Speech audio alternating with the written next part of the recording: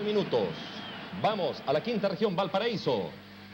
A los 26 minutos, Rico Steinman, sorpresivamente aprovechando un lanzamiento penal, pone en ventaja al cuadro de Alemania sobre Bulgaria por 1 a 0.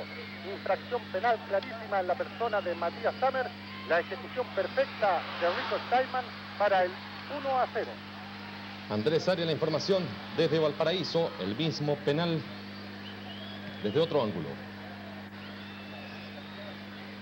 Uno para la República Democrática de Alemania, cero para Bulgaria. Estamos en